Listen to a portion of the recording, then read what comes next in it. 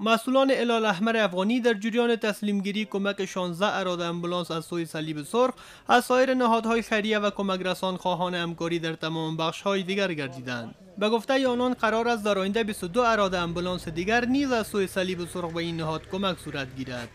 دام غوښتنه ده چې باید دوی په نورو برخو کې لکه دلته مونږ د یوازې د موټرو د رصد نه بلکې مونږ پوهیږو سی آر سی کولی شي چې زمونږ سره په مخابراتي سیستم کې ډېر لوړه همکاري وکړي. د هغو نه غوښتنه دا ده چې موږ سره دې برخه کې ډېره همکاري وکړي.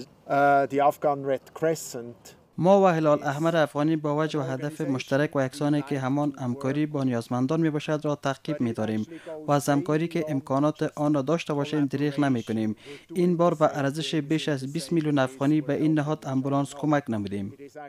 همزمان با این در ادامه کمک های بنیاد خیریه ملک سلمان برای نیازمندان در افغانستان این بار این نهاد خیریه برای بیش از 5000 فامیل عودت کننده کمک های خوراکی توزیع نمود.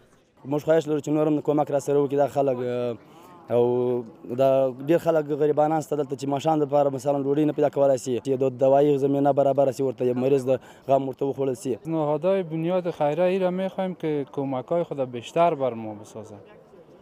تا بتانیم که نو نفر فامیل هستیم یک گزارش او سرش این کمک ها که شامل لوبیا، خرما، آرد و دیگر مواد خوراکی می باشد در مرحله نخست برای یک هزار فامیل عودت کننده در کابل توزیع گردید.